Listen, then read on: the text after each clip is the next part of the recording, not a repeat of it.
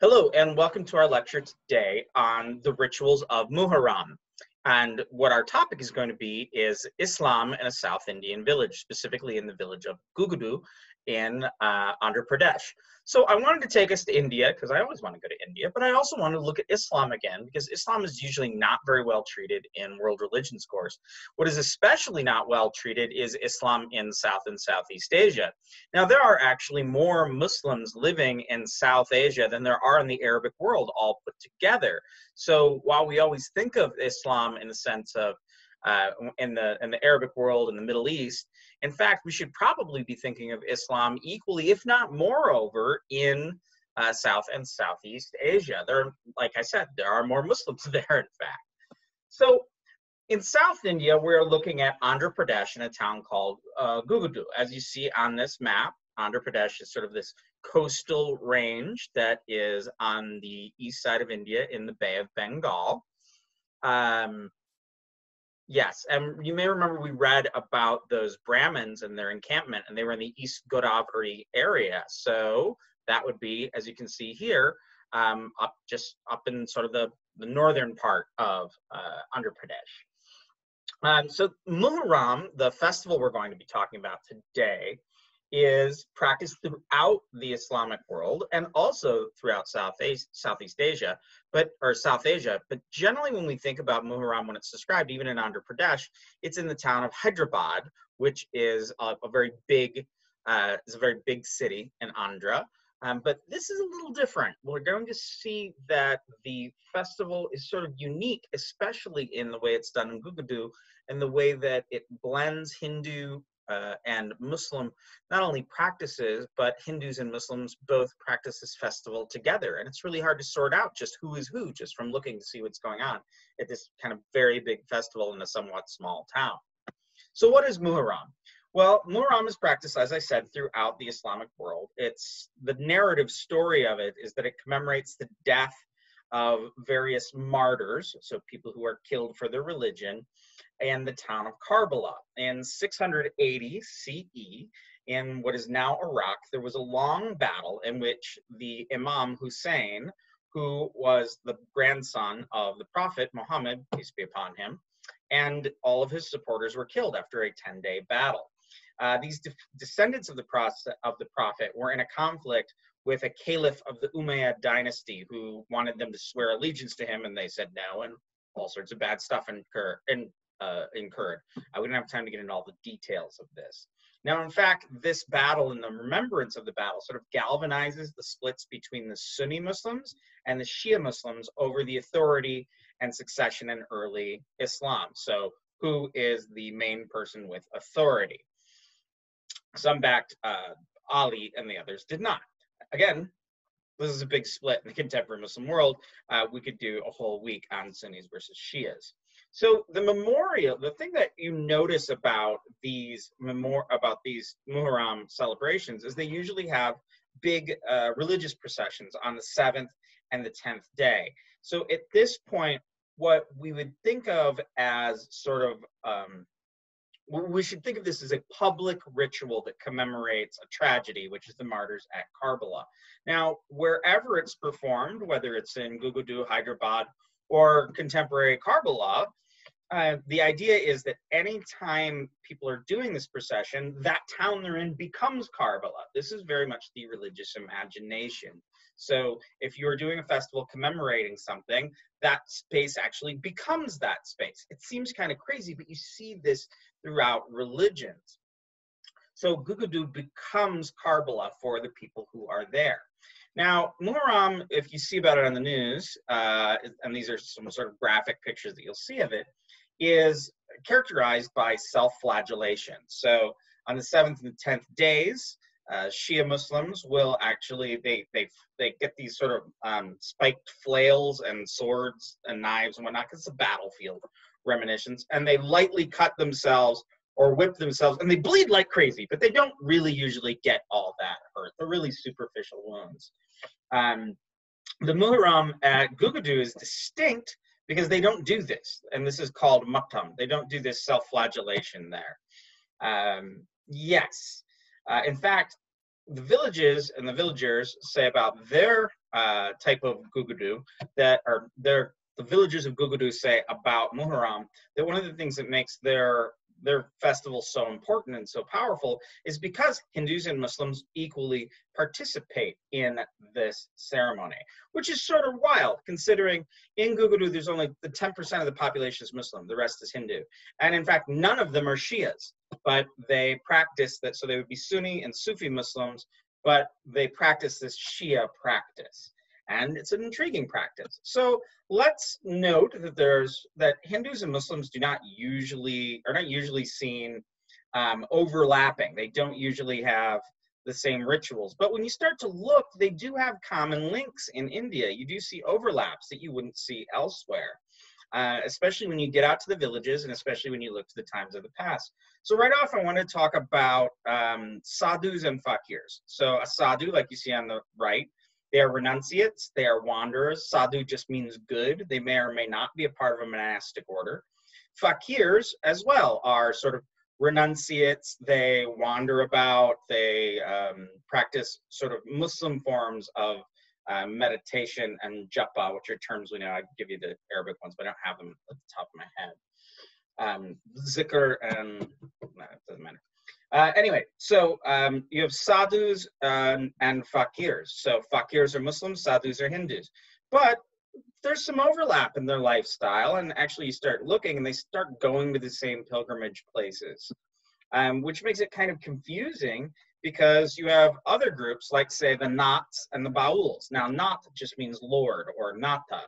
Now, these guys historically would take a Persian name when they're talking to Muslims and a Sanskrit name when talking to Hindus. So they themselves, despite being very much a Hindu order, and in fact, arguably they invented Hatha Yoga, um, they would dissimulate whenever it was convenient. Then you have the Bauls, like this fellow on the right here, who are known for being mystics and musicians. They believe in a sort of non dualistic sense of a god, but they're is he's really ineffable. He's hard to know. The Bauls resist being um, referred to as Muslims or Hindus, though their stylings of music is very, um, very Muslim influenced. And you can see that they draw heavily from both Sufi, so Islamic mysticism, and uh, Hindu Tantra. These guys are still around. You can find them all over Bengal.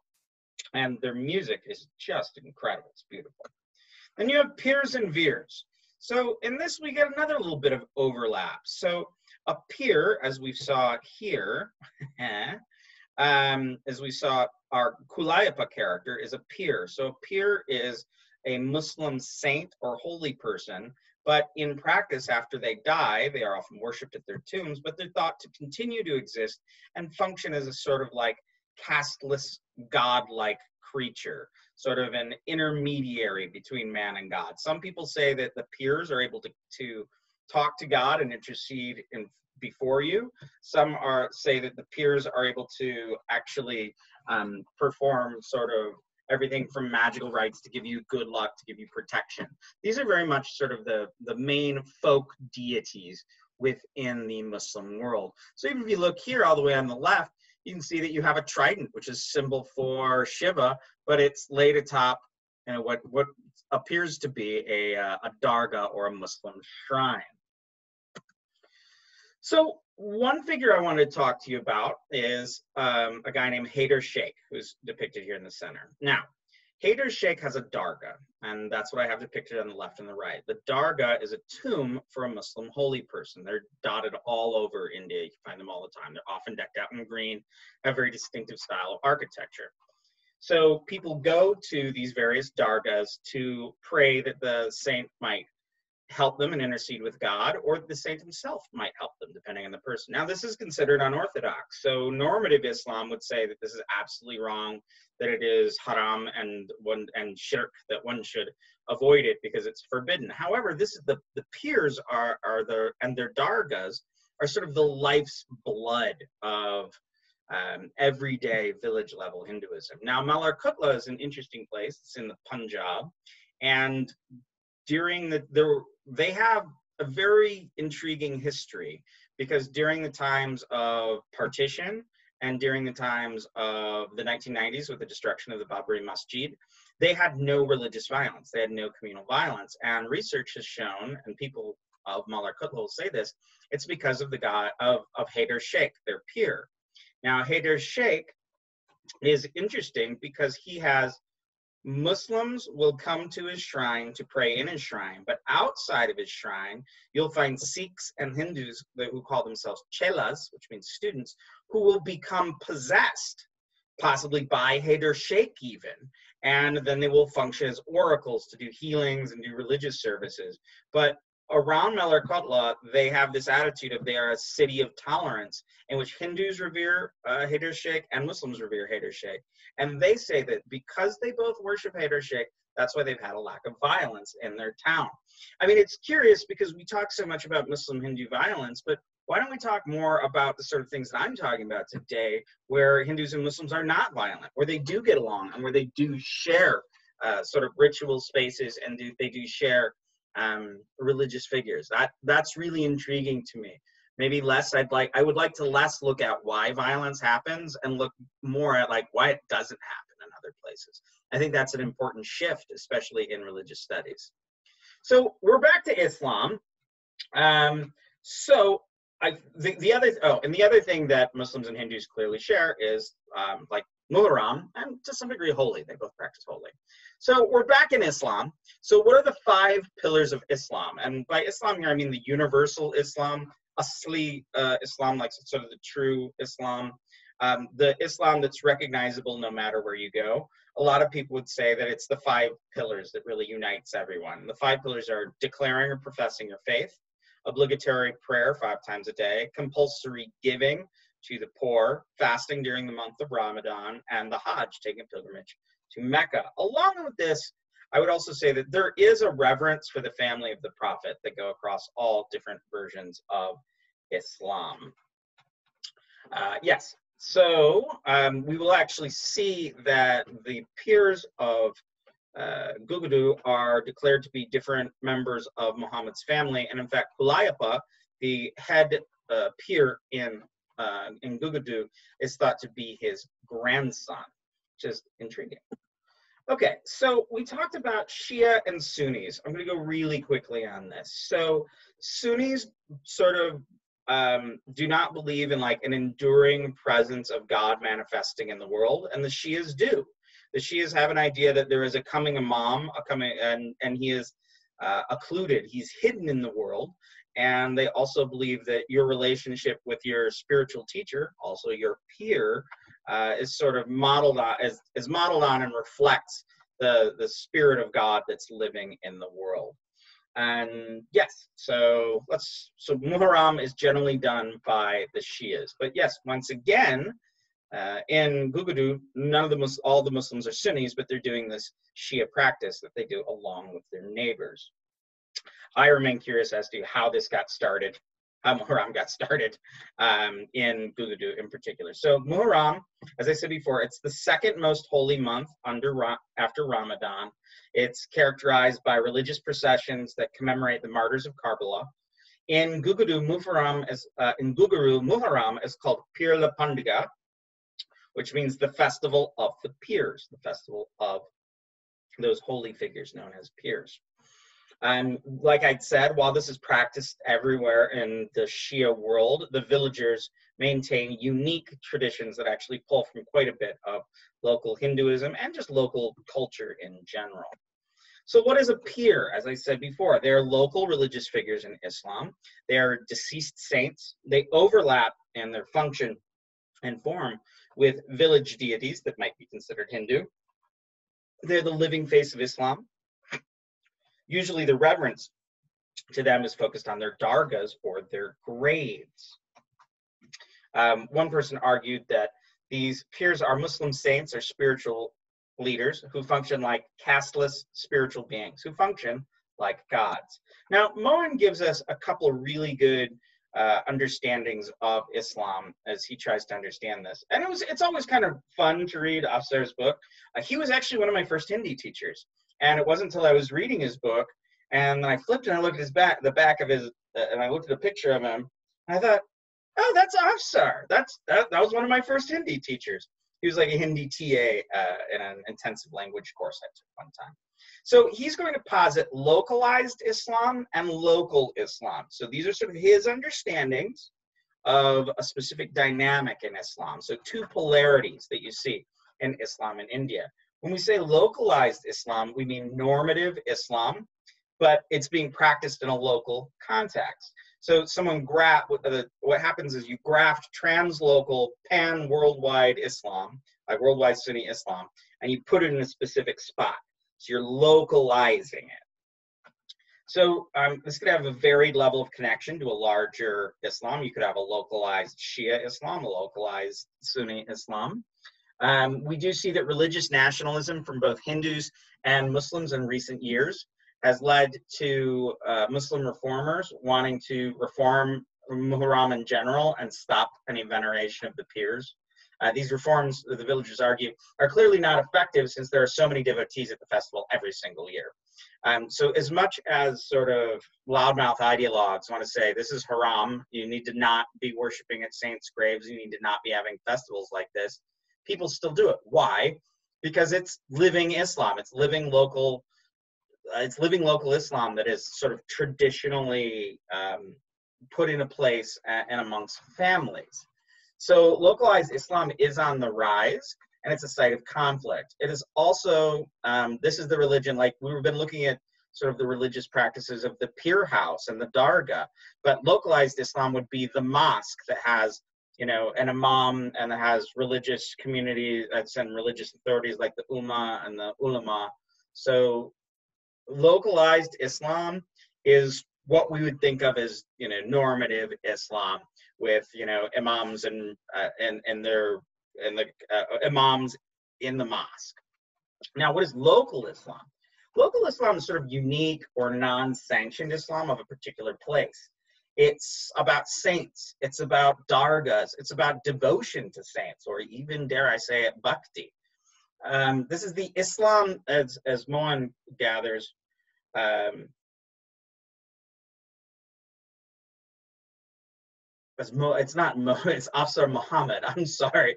I just I just broke for a second. I'm thinking of another guy I know named Afsar Mohan. So we are talking about Afsar Muhammad. Sorry about that. Um, so this is the non-sanctioned sort of form of local Islam uh, that is the religion of our land and our actual tradition. Um, so they would even argue that the pirs and local Islam is a bridge to the five pillars. It's a way to get to more translocal Islam.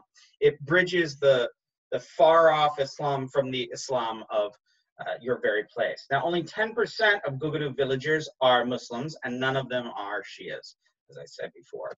Some other terms: battle standard. Now, this one screwed with me when I read uh, Muhammad's book. And I'm like, battle standard? What is a battle standard? Well, a battle standard is a flag, a flag that one carries into battle. Now, in India, these are these metal frames that have a circle on it with these three points that are then decorated with cloths and whatnot. The idea would be that when um, a Muslim figure would go into battle, they would hoist a flag. They would hoist a flag that signifies who they are and also signifying their devotion to God and their desire to win. So these represent the pirs, but as you read, they also sort of are the pirs as these battle standards are um, sort of processed through the streets, they're carried through the streets. They function. You look at them, as it is if it is as if you are seeing a pir. You can interact with them. So they are, in a sense, symbols of a pir, but they are also the pir themselves. Finally, we have the pir house, uh, and here you have a picture from a devotional, uh, from a, sort of a devotional video, which is kind of cool. So you see that the pir house is on the right, and that's where they would keep all of the battle standards and special chests all year round. And people regularly go um, any time of the week, any time of the day, and they make offerings there in which they say the um, in which they say verses from the Quran and we'll have an offering of sugar to a uh, like a, a, framed photograph of the battle standard of Kulayapa, and the local cleric will help them say some prayers, and then they take back that blessed sugar and they uh, consume it amongst their family and whatnot, or give it to friends. And they even use the word prasad, and prasad is a Sanskrit word meaning grace, which is generally what you call whatever you get and you take from a temple. So you come and give offerings, and then you take something away. The priest will give you something, and it's blessed food that you eat, and it's, it's like you're eating God's grace. You can see the left of the pir house is a Hindu temple, which we'll read about in just a, a little bit. Uh, and then you see in front, you see that large, those stones and all of that, what I assume is cow dung in there. That is sort of the, the where the fire pit will be during the festival. yes. Uh, people will come to the Pir house to make offerings uh, in order to revere the Pir or to fulfill a vow. They will often take a darshan. Uh, darshan is the Hindu phrase for seeing. So when I go and I look at an idol or an image of God, the idea is that I'm looking at God and God is looking at me, and they call that a darshan. Uh, yes. So, okay. Um, who is Kulayapa? Well, Kulayapa is a lot of things. Kulayapa is, his name literally means something like the Pir who wears a hat. Um, is sort of the main Pir of the area, and he's got a couple of levels. So locals will say that he's the eldest grandson of Muhammad um, and argue that Hussein, who was martyred at Karbala, is his younger brother. And the argument is that uh, was also there at Karbala and was martyred. Uh, also, we see that there's a tale that the reverence for Kulayapa and for the Muharram ritual was said to be originally brought by a Sufi priest who was Persian named Fakhruddin. Um, so that shows this further connection to uh, Persian religion. But again, a Sufi priest or a Sufi figure who brings a, uh, a, a Shia person, ostensibly, though Kulayapa is clearly a, a South Indian name, and then also uh, brings a festival that is a festival practice that's generally done by Shias. It's just sort of odd. Um, oh yeah, so to continue, the town of Gugudu, Gugu is, uh, is a derivation of the Sanskrit word guha, and du means like place of, so like the place of or the nest of Gugu, uh, who is guha, Guha is a character in the Ramayana, which is a story about the Hindu god Rama and how his wife is stolen. He has to claim her back from a demon king of Lanka. Supposedly, he needs to get across a large river before he lost his wife. So we see this picture of him there with his wife Sita and his brother Lakshman. And there's this guy who uh, lends them their boat, and his name is Guha, which means, and his name actually means something like secret or cave. So yeah, and he wears a little hat in the story. So Kulayapa, again, the guy with the hat. A lot of guys with hats. I want to do a whole religious studies class on religious hats. Uh, yeah, so uh, is revered by both Hindus and Muslims, and his Muslim identity is not identified by, is not denied by the Hindus. But when you look through a lot of the videos of Muharram and Gugudu, you will actually see that there are other versions of Kulayapa who look more Hindu than Muslim. All right, so what is Muharram? What are the events? What are the rituals? Well, this is a 13 day festival, and as I said, it's considered to be some of the purest days of the year, only slightly less important than Ramadan, the month of fasting.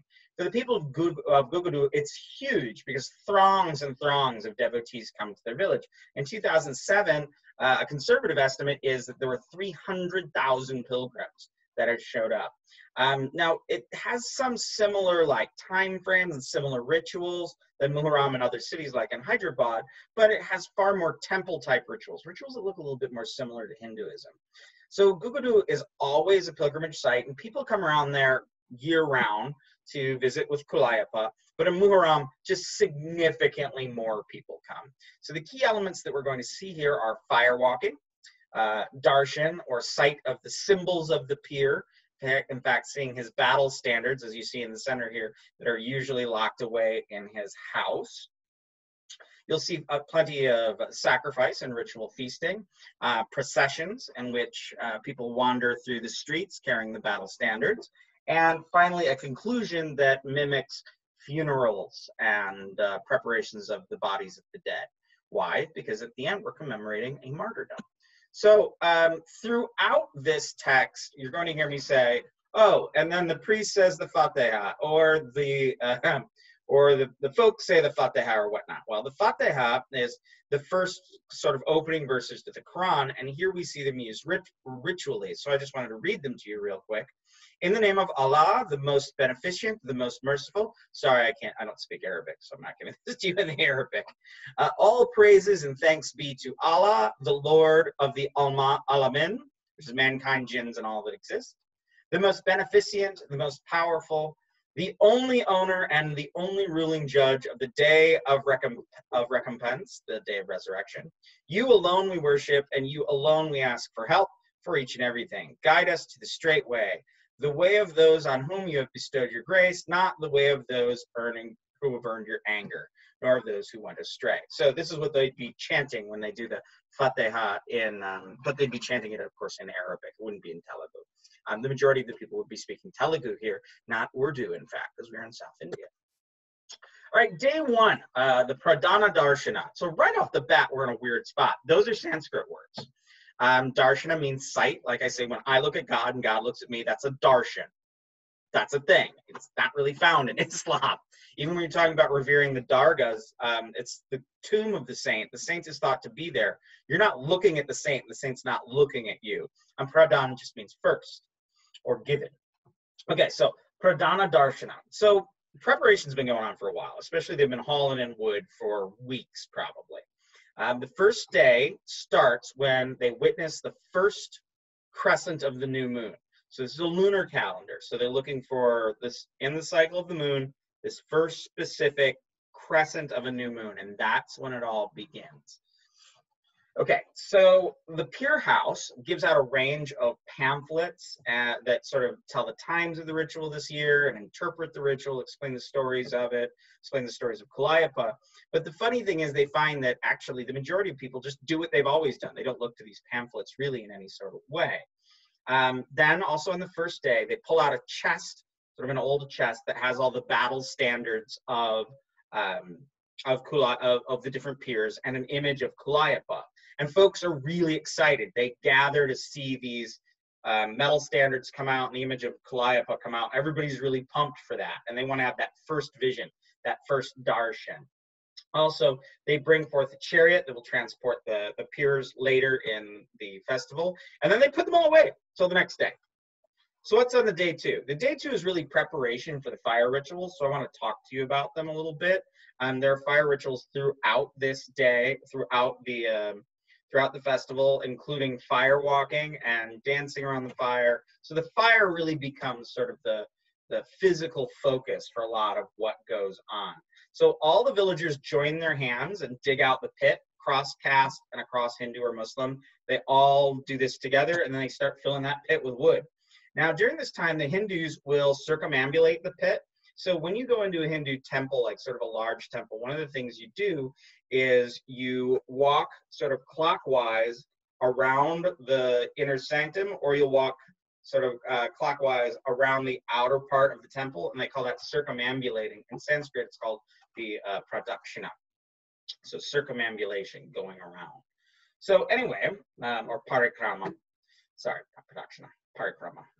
Uh, anyway, so they, uh, yes, the Hindus circumambulate the pit, and the Muslims do too. But when they chant, they're chanting that Fatiha, the, the verses that I just I just uh, spoke to you just a few minutes ago.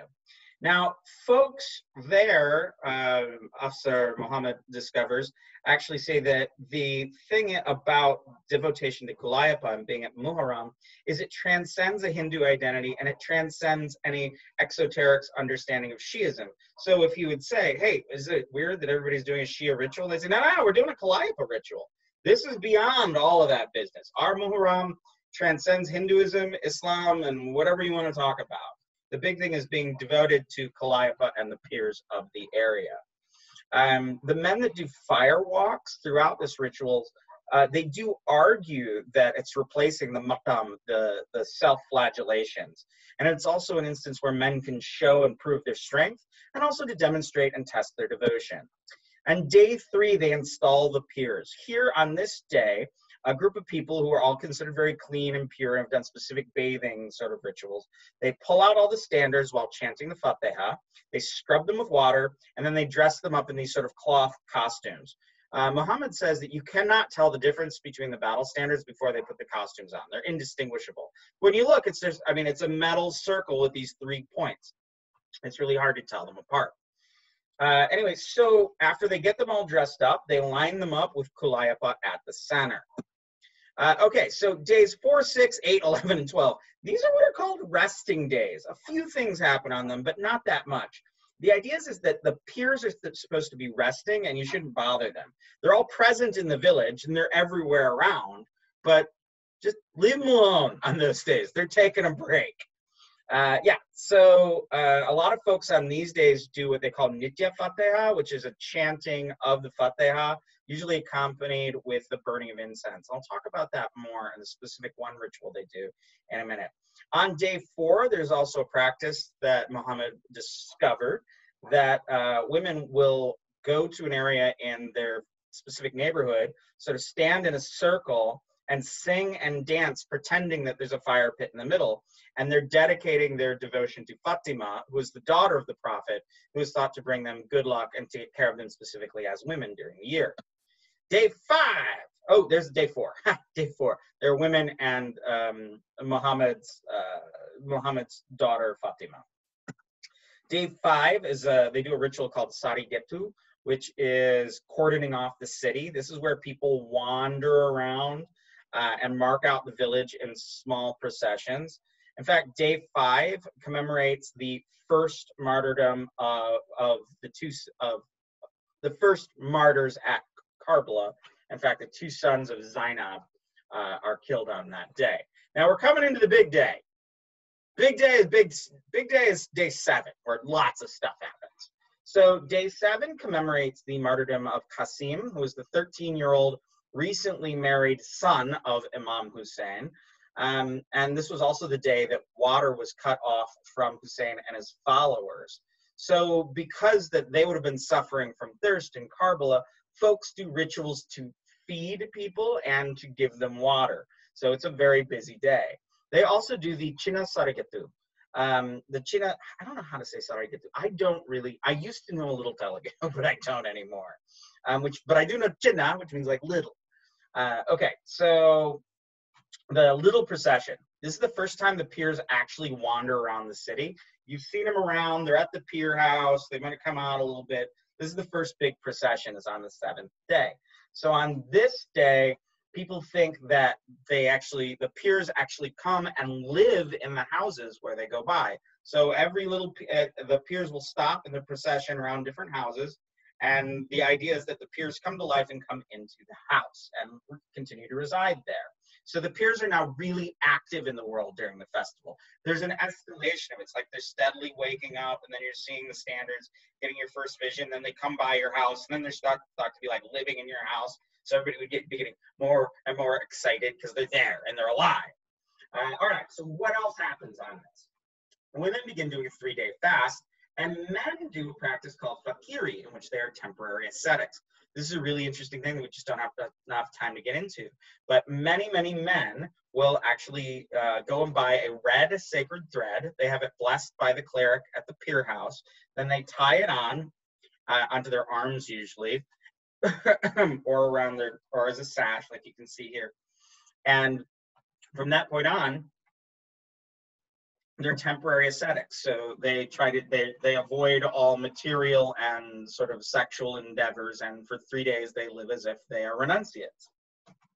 Intriguingly these are practices done by muslims but a fair amount of hindu and men do these same vows and do these same practices. Now this short procession is only three hours long only which is short compared to the 10th uh, 10th day when they do a procession that goes all night at the end of this first uh, Chinas Sarigatu, um, you they do a brief fire walk. So that means that you know they smooth out the fire, and then those people who are holding the battle standards, who are in fact considered to be like the pir in that moment, do the fire walk, and it's it's as if the pirs are doing the fire walk. Man, I want to go to this festival. okay, so um, at, at, the next one, we have a procession that goes all night. This is the big day, uh, final 10. These days, uh, they, they conclude, and we actually have a ritual funeral on the 11th. And at the end of this day, the pirs are thought to be martyrs. So um, on the 10th day is the day where everyone was martyred at Karbala once upon a time in the 7th century. Um, after, after they are martyred, the pirs will actually be put back into their homes for the coming year. Uh, as we get toward the end in these last final rituals, uh, you'll see that folk feel so connected to the pirs um, in the last like 10 days, and they're really sad that that's going to end. And when you look at like, and when you look at it, here, look at this picture. This looks like a heck of a good time. All right, so they built up the fire pit really, really big, like bigger than they've had it before. And at 5 uh, p.m., this on the 10th day, the cleric comes out, the cleric from the pir house comes out and reads the Fatiha, and then he lights it up. Everybody else around chants the Fatiha as the fire uh, gets big. Um, right then at that point, lots of people from all over the place start singing and dancing and having folk performances from reenacting legends of the village to stories about Kulayapa, to stories about the different pirs. So there's all sorts of folk performance all around the different areas by the fire.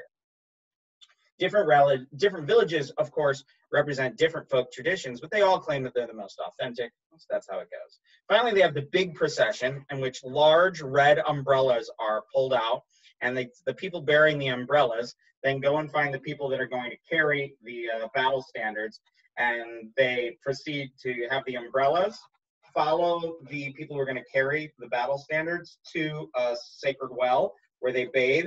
Then they go back home, still with the umbrellas, put on their fancy costumes, and then they go and they pick up the battle standards, and they, with the umbrella folks and tons of people playing music, these long horns called um, what's that called? Nadi Nadi Swara. Uh, yeah, so you'll see them in the videos. Anyway, so the um, these the the pirs who are in, in the battle standards, they then go all around the village and they go everywhere. Now, uh, folk clamor all over the place to see this sort of last vision of the pirs and to get blessings that come in the, uh, in the form of, of special powdered sugar uh, gifts that the carriers of the battle standards will give out to people. Uh, finally, the pirs, after wandering the town, come back to the fire pit and this can be like this is probably around daybreak at this point. And they do tons and tons of fireworking uh, fire walking. The cleric walks the fire then all the pirs then kulayapa um, then all the people do. And at the end of this the pirs go back into the pir house and they cover them up with red cloth because they're martyrs now. That's the end on the 10th day. Everybody dies on the 10th day in the story so there are some events that happen on the concluding day so there's extensive sacrifice and feasting all day on the 11th. Um, Afsar Muhammad describes his white tennis shoes being stained bright red because there's so much blood all around the pir house where you have uh, people sacrificing goats and sheep and then cutting them up and serving them because there's going to be a great amount of feasting very soon. Around 4 p.m., they do a final fire walk and darshan of the battle standards and then they are hidden for the next year. There's going to be no more darshans. In this last little bit, when the pirs are moving around, uh, women will actually pour water at their feet, and some women will even roll on the ground uh, around them. Um, and this being wet and rolling on the ground is actually something you see in other elements of South Indian bhakti as sort of a way to show your uh, devotion to the Lord. Finally, we have the last day, uh, which is called Akri in Urdu, which means something like the end, but it's called Jaladi in Telugu, and Jaladi just means put it in the water or immerse it in water. So at this point, the pirs are marched out to a dried up well that corresponds to the water source that would have been there in Karbala. Once there, uh, the people who are carrying the pirs will actually remove their costumes um, and they will wash the battle standard uh, very vigorously um, and then the cleric will give a very special, and then they wander back to the pir house, and the cleric gives a special prasad of a specific type of cooked bread, and then um, everybody who's been making food makes a little chunk of their food and gives it to the pirs, makes an offering, and then they feast, and it's delightful. And the pirs are put away for the rest of the year. All right, so what are some everyday practices when it's not Muharram? Well, there's two or three that I want to talk about really briefly. First, you have Nitya Fateha, and this is weird again also because you have Fateha, but Nitya means like ever present, always. Um, a Nitya Puja is a puja that you do every day. So when they say Nitya Fateha, they're pulling on this Sanskrit term for like a Nitya Puja, a Nitya ritual, which is like the bare minimum ritual that you have to do absolutely every day.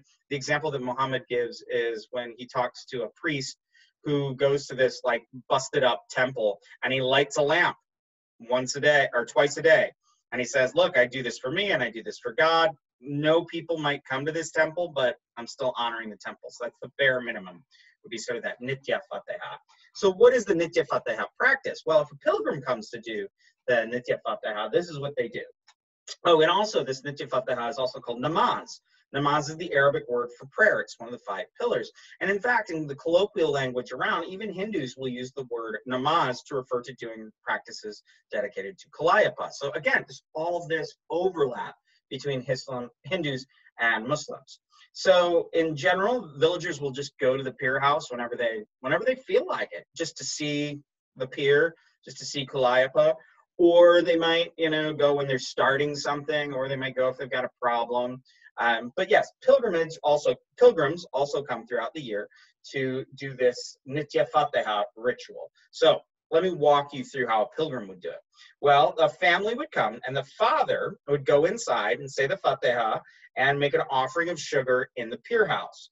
And the temple cleric would also say the Fatiha and he would be, both of them would be focused on looking at this photograph, a framed photograph of the battle standards, because the battle standards and the pirs are asleep. They're in their, their wooden chests elsewhere.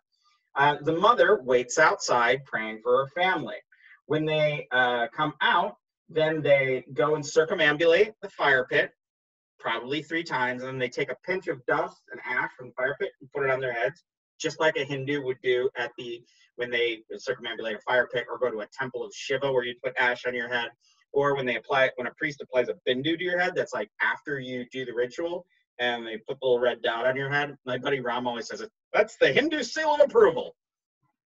Anyway, so then to make it weirder, after that, they go to a Hanuman temple. It's a little ways off, and they offer coconuts and receive sort of this blessed red powder from their Vaishnava priest.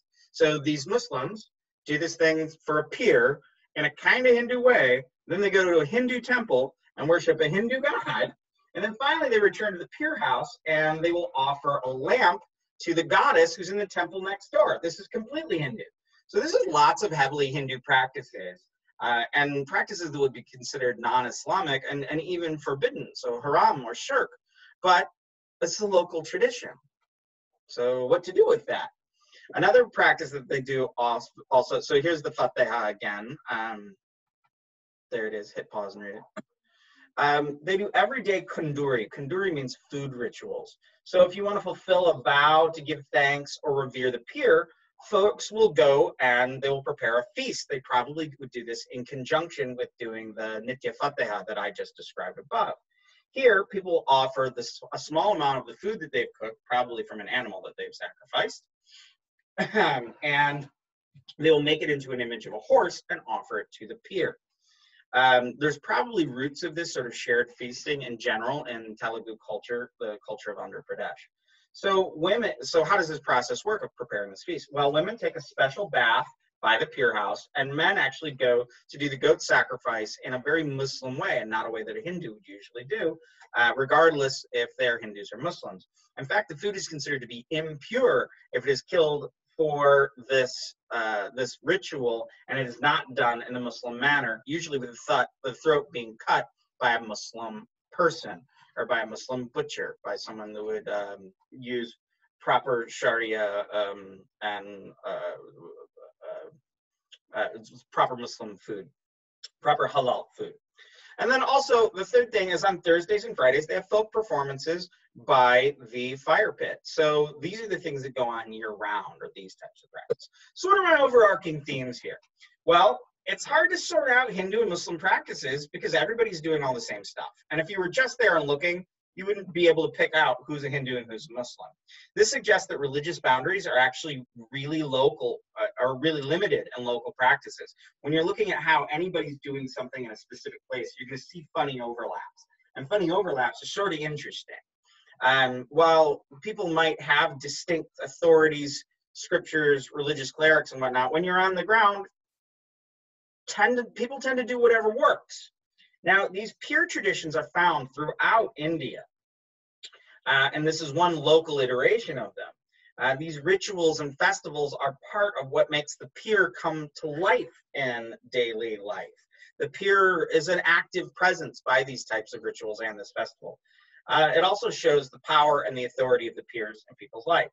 Uh, throughout this, throughout these rituals, people would yell "Din Govinda," which is a cry of glory and victory, but it's a weird one because it's very local and um, it's a combination of an Arabic word din and a Sanskrit word Govinda. It's a hybrid language that's found throughout the rituals. Some Hindus even call this this Muharram Imam Jayanti. Jayanti is a Sanskrit word, meaning victory to the Imam, victory to to the great, to, victory to the great authority. We also have Ziratu Darshanam, so Ziratu means like sort of like holy in Arabic, and Darshanam was that word Darshana I said before. And Nitya Fatiha, the Fatiha, which is the opening of the Quran, and Nitya, the Sanskrit word. So there's these hybrid Hindu concepts. Um, likely what this was is when the Sufis, who are the people that really introduced India to um, Islamic religion, when they were encountering people who were not necessarily Hindus, but people who were Bhaktas, they would actually combine Arabic and sort of indigenous words in the area to pull more people in. So there's a bhakti vibe that is throughout this. Now, bhakti is the religion of devotion. So that is uh, having a complete relationship with God and being completely devoted to the God of your choice. But it's a very emotional religion. It's about sort of bringing up emotions of love or separation and thinking about those with the deity, having an extreme love for the deity as your lover, as your child, as your mother, or however, but just becoming completely enraptured in that sense of feeling, which is not something you generally find in in Islam when they are talking about sort of religious figures. There is definitely Islam is the religion of love, but it is a love for God and for man, not these other religious figures. Uh, yes. Um, so yeah, what we're seeing here is a way that Islam can be can be made local, can be made local in these different places, which is different from what I was calling localized Islam before. But let's not get into that. Um, okay, what else do we see? Uh, we see that like I said, Sufi was around, and we have specific teachings from Sufi saints and whatnot. But we can see that there were things that the Sufi saints didn't necessarily sanction that existed in sort of the local cultures that continue to be expressed in a thing like Muharram. Uh, folks can actually see the standards. Remember that these um, these image, well, these they're not image, these battle standards, these battle flags, are actually usually hidden away. But during the festival, they're brought out. They're actually present folks can interact with them and they interact with them not only by taking darshana with them but people pray to them and have like interior conversations with them so the external experience of seeing the battle standards enlivens interior experiences of emotion and devotion um, the pirs are experienced as being so this is kind of an interesting thing when you're at the pir house it's the varied pirs you know they'll list them they'll name them when the, they're wandering around, people refer to these pirs as being the pir of the neighborhood or the pir of their family. So they go from being a public pir to a private pir. It's kind of a, it's an intriguing idea. I want to think about it more at some point. Um, I wanted to close by saying that this form of Islam is distinct from the Islam of the Arabic world. It has continuities. It connects to Shiism and Karbala and the Muharram martyrdoms, but it's very different from the Arabic world. It's very um, well suited for this for, for South India, and it's distinctly different from um, Wahhabi fundamentalism. So, Muslim fundamentalists, their biggest critiques are for governments that are not Muslim, usually their own governments they don't find Muslim enough, and for these types of practices. These are the types of things that drive Muslim fundamentalists crazy and they want to drive out of all of Islam. Stuff like veneration of saints, worship at dargahs, and these types of religious festivals. So in the end, I wanted to show you something completely different of Islam that, that I don't think you're ever going to encounter elsewhere unless you kind of go to Asia or people start really paying attention to the Islam in South Asia and giving its due as a unique phenomenon and not a necessarily independent phenomenon of all Islam, but an iteration that bears a little more attention. Thank you very much.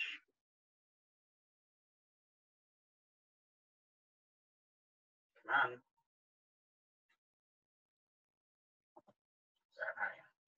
Have a moment. All right. See you next time.